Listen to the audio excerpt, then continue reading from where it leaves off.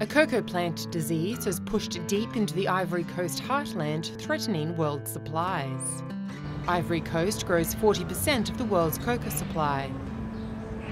The swollen shoot disease wilts leaves and swells roots and stems of the plants, eventually killing them. The virus spreads quickly from plant to plant and has infected at least 12% of the Ivory Coast cocoa plantations. Infected plants must be culled. Controlling the disease could strain supply for world cocoa demand.